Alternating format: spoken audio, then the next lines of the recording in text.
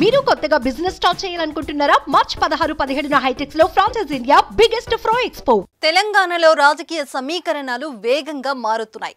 రోజుకో నాయకుడి చొప్పున బీఆర్ఎస్ను వీడి కాంగ్రెస్ పార్టీ కండువా కప్పుకుంటున్నారు.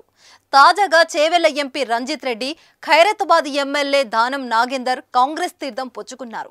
కాంగ్రెస్ పార్టీ రాష్ట్ర ఇన్ఛార్జు దీప్ దాస్ మనిషి సమక్షంలో సీఎం రేవంత్ రెడ్డి ఇరువురు నేతలకు కండువా కప్పి పార్టీలోకి ఆహ్వానించారు. తాను చేవెళ్ళ నియోజకవర్గ అభివృద్ధి కోసమే కాంగ్రెస్లో చేరుతున్నానని రంజిత్ రెడ్డి చెబుతుండగా తాను బీఆర్ఎస్లో ఉంటానని పార్టీ మార్పుపై ప్రకటన చేస్తూనే కాంగ్రెస్ కండువా కప్పుకోవడం చర్చనీయాంశంగా మారింది.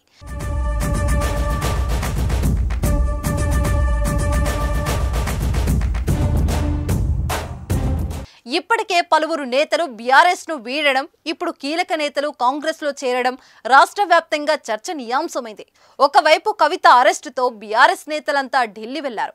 ఓవైపు కవిత కోసం ఢిల్లీలో బీఆర్ఎస్ ముఖ్య నేతను ఉండగా మరోవైపు రాష్ట్రంలో పలువురు కీలక నేతలు పార్టీ మారుతుండడం ప్రస్తుతం రాజకీయ హీటు పుట్టిస్తోంది. ఈ నేపథ్యంలో సీఎం రేవంత్ రెడ్డి చేసిన వ్యాఖ్యలు సంచలనంగా రేపుతున్నాయి. ఈ రోజు ఒక గేట్ ఓపెన్ చేశానని సీఎం రేవంత్ రెడ్డి చెప్పారు. ఇంకా ఎంతమంది చేరుతారో చెప్పలేమని రేవంత్ అన్నారు.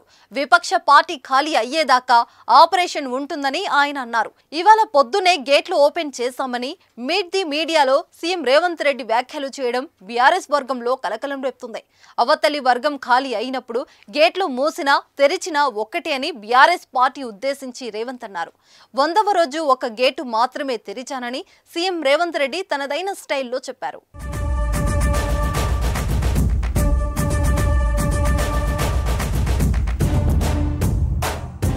సుమన్ టీవీలో మీ పర్సనల్ అండ్ బిజినెస్ ప్రమోషన్స్ కోసం కింది నెంబర్కి కాంటాక్ట్ చేయండి.